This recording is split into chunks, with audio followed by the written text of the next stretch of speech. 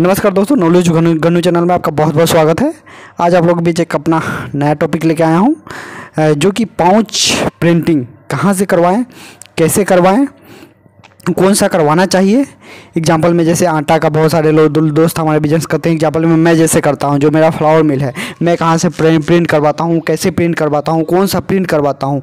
मसाले का टी का चिप्स का सर्फ का, इस टाइप के बहुत सारे हमारे फ्रेंड बिज़नेस करते हैं। तो वो सब पाउच कहाँ से प्रिंट करवाएँ? उनके बारे में अभी सही आइडिया देने वाला हूँ। और कितना उसमें लागत आता है कि एक पाउच प्रिंट करने में अगर एक अपने नाम का ब्रांड लॉन्च करना चाहते हैं मार्केट में तो उसमें कितना आपका इन्वेस्टमेंट लगेगा? और सही पाउच कौन सा होता था इसके बारे में आज आप लोगों को मैं बताने वाला हूँ। सो प्लीज़ दोस्तों अ, मैं अपना ही बिज़नेस के ऊपर अम, सप्ताह में एक दो वीडियो लाते रहता हूँ जो कि मैं अपना खुद से अभी एक्सपीरियंस ले रहा हूँ और एक्सपीरियंस लिया हूँ। सो so, इसके ऊपर मैं कंटिन्यू वीडियो बनाता रहूँगा। जो भी बिज़नेस फ़ील्ड में आने वाले हैं हमारे दोस्त वो हमारे चैनल को सब्सक्राइब कर ले ताकि उनको दूसरे जो कि यूट्यूबर्स हैं बहुत सारे अम, दूसरे का आइडिया लेकर और वो ज्ञान जो देते हैं, उनका ज्ञान से थोड़ा बचे। क्योंकि सेम जैसे आप लोग ज्ञान ले रहे हैं दूसरे यूट्यूब चैनल से या बहुत सारे चैनल्स हैं हमारे फ्रेंड का, जो कि उनको कुछ भी एक्सपीरियंस नहीं रहता है बस उसके बारे में फेंकते जाते हैं।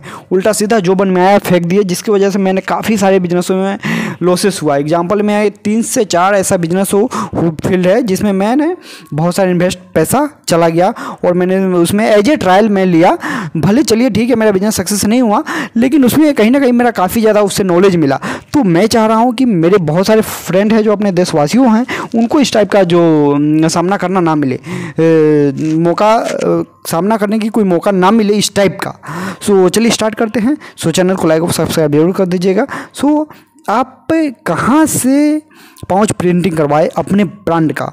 तो दोस्तों आप नियर बाई कोई भी जैसे दिल्ली होगा आपका दिल्ली से ले सकते हैं, बनारस में बहुत सारे पाँच पेंटिंग्स हैं, और आपके स्टेट वाइज इसको तो मैं नहीं बोल सकता कि अब कहाँ से आपको सूटेबल होगा करवाने में, क्योंकि आप नियर बाई स्टेट में आपका बहुत सारे पाँच पेंटिंग्स लगा रखे हैं बंदे, उनसे आप संपर्क कीजिए और आप पाँच पेंटिंग करवा सकते हैं। अगर आप मेरे कमेंट में कीजिएगा कि मैं इस स्टेट का है, मेरा काफ़ी ज़्यादा ऑल ओवर इंडिया में मेरा लिंक है, कहने का मतलब मैं इतने सारे बिज़नेस में फेल और पास हुआ हूँ कम से कम चार पाँच बिज़नेस में तो इस टाइप के मैं फेल हो ही गया हूँ जिसकी वजह से मेरा नॉलेज है सारी फ़ील्ड में। तो कहाँ से लेंगे? अगर मेरे से राय लेंगे आप लोग तो मैं आप लोगों को बता दूँगा और सही कौन सा प्रिंटर्स होगा कहाँ से प्रिंट करवानी है। अगर भले ही इंडिया की कोई भी स्टेट से क्यों ना हो मैं उनको ज़रूर एक अच्छा से आइडिया दे सकता हूँ। सो हम्म, आपको जो रोल दिख रहे हैं अभी वीडियो में इस टाइप के रोल आते हैं। तो इनको किस टाइप से और कहाँ पे प्रिंट करवाएँ और कौन से लें? तो दोस्तों इसमें बहुत सारे बंदे को हमारे शक होते हैं क्योंकि नए नए बिज़नेस में उतरे होते हैं उनको कोई भी आइडिया नहीं होता। एग्ज़ाम्पल में जैसे कि मेरे था आज से तीन साल पहले।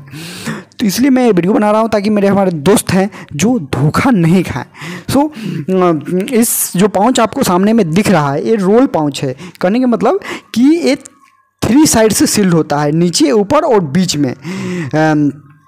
बीच में सील्ड होता है। तो कहने का मतलब ये फुल्ली प्लेन सीट की तरह एक रहेगा आपको रोल में रहेगा। और इसको प्रिंटिंग करवाने के लिए नियर बाई प्रिंटर से आप संपर्क कर सकते हैं। और एक आता है, एक तो ये टाइप का हो गया, और दूसरा आता है इस टाइप का पाउच, जो आपको दिख रहा है, जैसे बेसन, कुरकुरे चिप्स रिंग्स इस टाइप के पाउचेस, जो थ्री साइड लॉक रहेगा और वन साइड ओपन रहेगा।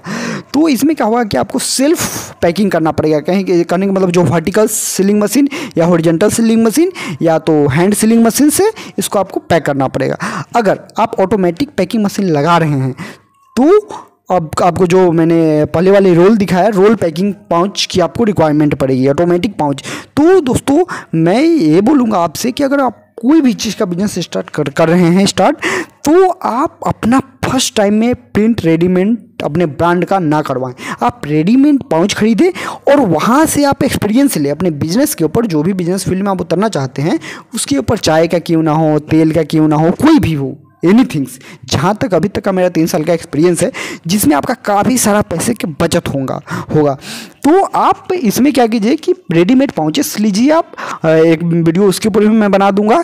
और अगर कोई भी दोस्त हमारे भी लेने चाहते हैं, जैसे कि मैंने किया था तो मेरे काफ़ी ज़्यादा रेडीमेड पाउचेस तीन चार स्टेट से मैंने मंगवाता था। तो उनका भी मैं फुल डिटेल आप लोगों के बारे में बता दूँगा। हो सकता है तो टाइम मिले तो मेरे को, मैं उसके ऊपर भी एक वीडियो बना दूँगा आप लोगों को कि कहाँ से आपको रेडीमेड पाउच खरीदना है और किस टाइप का, जो कि आपके ऊपर कोई क्लेम भी ना आए। है ना? कोई नियर, जो ब्रांड का आप सेल करें, उस ब्रांड के ऊपर प्रति कोई भी आप लोग को केस ऊपर ना आए। तो एक वो आती है डाउट रहती है कि मैं दूसरे ब्रांच का सेल करूँगा तो कहीं ना कहीं मैं फंस तो नहीं जाऊँगा। इस टाइप की बहुत सारे कंप्लेन आदमी के रहते हैं। सारे डाउट मैं क्लियर कर दूँगा कि कहाँ से प्रिंट, किस टाइप के लेंगे आप। तो इस सब की चीज़ों की सामना नहीं करनी पड़ेगी। तो एक तो रोल प्रिंटिंग तो इसमें दो टाइप की होती है। एक तो मेटालिक होती है, जो प्लेन प्रिंटिंग बोलते हैं, और दूसरा होता है इलेक्ट्रिक प्रिंटिंग तो आप लोगों को मैं बोलूँगा कि आपको दोनों में से अगर कोई भी पाँच प्रिंटिंग करवा रहे हैं तो आप फ़र्स्ट टाइम इलेक्ट्रिक प्रिंटिंग करवाइए। इलेक्ट्रिक प्रिंटिंग का क्या क्या होता है कि इसमें काफ़ी दिन तक आपका ब्रांड अगर मान लीजिए कि दुकान में रखा है तो डिसकलर नहीं होगा। और जो मेटालिक प्रिंटिंग होता है, उसका ब्रांड चेंज हो जाता है। कहने का मतलब वो डिस्कलर होने लगता है। एक एक पार्टिकुलर टाइम के बाद वो डिस्कलर होने लगता है। और इसमें कितना खर्चे लगेंगे? तो दोस्तों मैं बताऊँगा कि एक पाउच में सपोज़ पचास ग्राम का पाउच है तो उसको करने में कितना खर्च लग रहा, लगेगा आपको? तो चलिए एक पचास ग्राम के स्पाइसेस पाउच के, से स्टार्ट करते हैं। सपोज़ मसाला की हल्दी आपको पेंट करवाना है पचास ग्राम तो उसका कितना कॉस्ट पड़ेगा आपका मिनिमम चलिए स्टार्ट करते हैं। सो अगर फ़र्स्ट टाइम आप अगर पाउच प्रिंटिंग करवा रहे हैं, दोस्तों तो आपको सिलेंडर की रिक्वायरमेंट पड़ती है। मिनिमम एक पाउच पाउच के लिए, एक साइज़ के लिए छः सिलेंडर की रिक्वायरमेंट होती है जिसपे आपका ब्रांड पेंट होगा और ब्रांड का डिज़ाइन बनता है उसको। तो दोस्तों, उस एक सिलेंडर की कॉस्ट होती है पचपन सौ से लेकर छः हज़ार रुपया। तो आपका छः सिलेंडर मिनिमम एक साइज़ का, एक ब्रांड में लगेगा आपका। तो जोड़ लीजिए, आप कैलकुलेट कर लीजिए खुद से छः पचे तीस। पाँच हज़ार से भी पकड़ते हैं तो तीस हज़ार मिनिमम आपका इसका आ गया। सिलेंडर चार्जेस एक साइज़ का, एक ब्रांड का, और उसमें मिनिमम आपको सेम ब्रांड का 200 केजी का प्रिंट करवाना पड़ेगा आपको। तो कितना हो गया? 200 एक के जी का आजकल अभी रेट जो चल रहा है प्रेजेंट टाइम में, वो चल रहा है दो सौ चालीस रुपये से दो सौ साठ रुपये तक के ऊपर आपको मिल जाएगा। तो चलिए दो सौ के जी कहीं मैं मानता हूँ, पकड़ता हूँ। तो हो गया आपका दो सौ इंटू छब्बीस, माने बावन बावन हज़ार। कहने मतलब पचास हज़ार है और तीस हज़ार सिलेंडर का। मिनिमम फ़र्स्ट टाइम अगर प्रिंट करवा रहे हैं आप दोस्तों तो आपको अस्सी हज़ार रुपये पड़ने वाली है। ये ध्यान रख लीजिए, वो भी एक ब्रांड के लिए। सेम अगर हल्दी, धनिया, मिर्च में उतरना चाहते हैं तो तीनों का दो दो सौ के जी लेना पड़ेगा आपको और फ़र्स्ट टाइम तीनों का चार्ज सिलेंडर का चार्ज अठारह सिलेंडर आपको बनाना पड़ेगा डिज़ाइन तो दोस्तों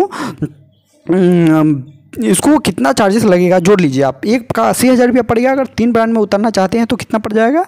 आठ तरीका चौबीस, दो लाख चालीस हज़ार रुपया। तो मैं आपको राय दूँगा कि आप अपने पहले रेडीमेड पाउचेस से स्टार्ट कीजिए, जहाँ की मेरा अभी तक का एक्सपीरियंस है। जहाँ तक मैंने अपना एक्सपीरियंस गेन किया है अपना, ताकि आप लोग को नुकसान का सामना नहीं करना पड़े।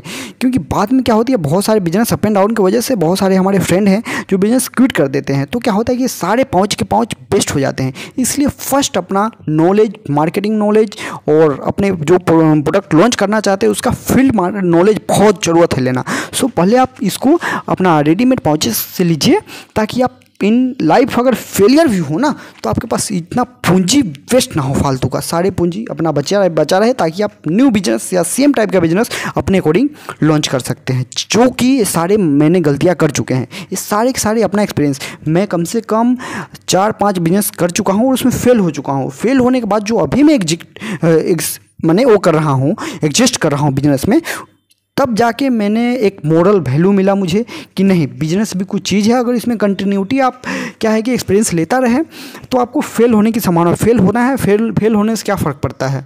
अगर आपको बिज़नेस करने की मन है ना तो फेल होना तो ये सब चलता रहता है, ये सब बहुत छोटी चीज़ है बिज़नेस फ़ील्ड में। तो इससे आपको नॉलेज मिलता है। एक फेलियर क्या है? अगर आप मिठाई की ही दुकान खोल रहे हैं ना, दोस्तों तो अगर मिठाई की दुकान आपका नहीं भी चला ना तो मिठाई की दुकान आपको इतना एक छेना के रसगुल्ले कैसे बनाए जाते हैं वो सिखाना सिखाना सिखा के वो कैसे बनाए जाते हैं उसको सिखा के ही जाएगा वो। तो कहने मतलब फेलियर कुछ नहीं होते हैं। आप जो भी फेल हो रहे हैं ना, वो आप सीख रहे हैं वहाँ से, ये मानिए आप। सो इस टाइप की आपको चार्जेस पड़ जाएगी पेंटिंग में और जो मैंने बोला आपको कि फ़र्स्ट टाइम आप थ्री साइडेड प्रिंटिंग लीजिए। Three side seal printing pouch लीजिए और अपना घर से पैकिंग स्टार्ट कीजिए और बिज़नेस स्टार्ट कीजिए आप, ताकि आपको बिज़नेस फ़ील्ड में नॉलेज मिले एक्सपीरियंस गेन हो, ताकि आपको मिनिमम फेलियर का सामना करना पड़े। मैं इसलिए अपने देशवासियों को ये सब नॉलेज देना चाहता हूँ, जो कि मैंने सामना किया हूँ, वो बाकी लोगों के सामने साथ भी करना होता है और वो सारे क्विट कर देते हैं बिज़नेस जिससे उनको बहुत ही बड़ा लाइफ में झटका लगता है, उनके पास जो भी पूंजी होती है, वो सारे के सारे बेस्ट हो जाते हैं। सो इसलिए मैं अपना एक्सपीरियंस आप लोग को देना चाहता हूँ। अगर पाँच की ज़रूरत हो, आप लोग को नहीं मिल रहा है, कहाँ से पाउच प्रिंटिंग होता है और पैकिंग मशीन ऑटोमेटिक इसके लिए क्या चाहिए?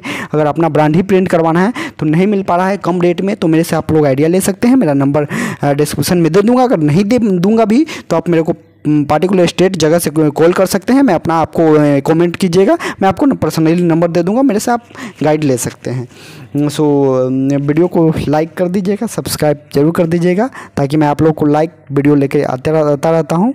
So thank you so much हाँ दोस्तों, इस पार्ट में एक टॉपिक को बोलना मैं भूल गया कि आप प्रिंटिंग के लिए दो टाइप का प्रिंटिंग होती है। एक होती है मेटालिक प्लेन प्रिंटिंग और दूसरा होती है इलेक्ट्रिक प्रिंटिंग तो हमेशा आप इलेक्ट्रिक प्रिंटिंग करवाएँ।